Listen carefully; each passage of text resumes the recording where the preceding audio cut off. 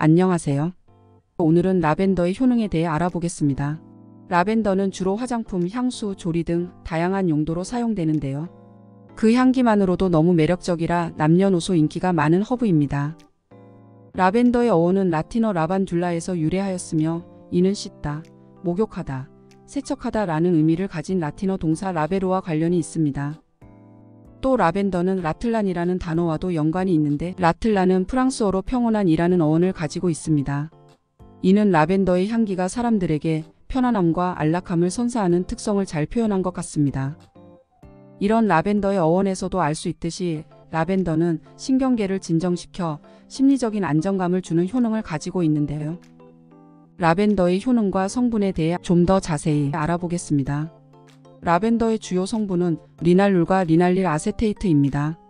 이 두 가지 성분이 라벤더에 풍부하게 함유되어 있어 여러 효능을 나타내는데요. 리날룰은 라벤더의 주요한 향기 성분 중 하나로 꽃과 허브의 향을 갖고 있습니다. 리날룰은 중추신경계에 직접 작용하여 진정 효과를 주며 스트레스를 완화하고 긴장을 풀어주는 역할을 합니다. 또 리날룰은 항우울 효과도 있다고 알려져 있습니다. 리날릴 아세테이트 역시 라벤더의 주요한 성분 중 하나로 부드럽고 깨끗한 향기를 가지고 있습니다. 이 성분은 리날룰과 함께 라벤더 특유의 향기를 형성하는 데 중요한 역할을 합니다. 리날릴 아세테이트도 리날룰과 비슷하게 진정, 스트레스 완화 효과가 있고 항균 및 항염 효과가 있다고도 알려져 있습니다. 이런 라벤더의 효능들은 이미 유명하기도 한데요. 이번에는 라벤더 효능에 대한 재밌는 연구 몇 가지를 좀 더 자세히 살펴보겠습니다.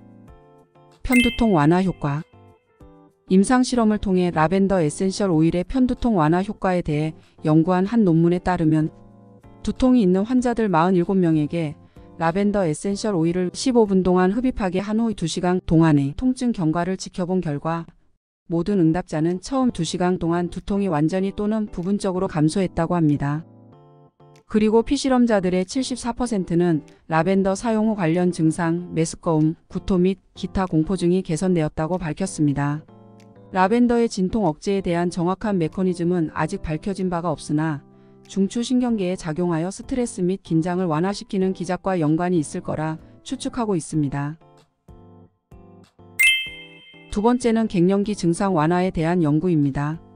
라벤더와 갱년기 증상에 대한 연구 The Effect of Lavender Aromatherapy on the Symptoms of Menopause에 따르면 2주 동안 폐경기 여성에게 주 2회 20분 동안 라벤더 오일을 흡입하게 한 결과 불안, 우울, 신체적 증후, 안면홍조 및 식은땀, 성욕 감소의 증상이 완화되었다고 보고했습니다. 더불어 또 다른 연구에서는 라벤더 오일을 사용한 마사지와 아로마 테라피 흡입 모두 갱년기 증상 감소에 효과가 있음을 입증하였으며 두 가지를 병행할 때 효과가 더 좋은 것으로 나타났다고 합니다. 피부 염증 완화 2020년 한 논문에서는 라벤더 에센셜 오일과 그 주요 성분인 linalool과 linalyl acetate의 항건선 효과를 연구했는데요. 이 연구에서는 쥐에게 imiquimod를 사용하여 피부 염증과 같은 건선을 유발한 후 라벤더 에센셜 오일을 적용하여 그 효능을 측정했습니다. 여기서는 효능을 측정하는 데이터로 PASI 점수를 사용했는데요. PASI 점수는 치료 전과 후의 측정에 비교하는 건선 치료의 주요 지표로 점수가 높을수록 치료 효과가 높은 것을 의미하며 PASI 75는 치료 후 건선 증상의 75%가 감소한 것을 의미합니다.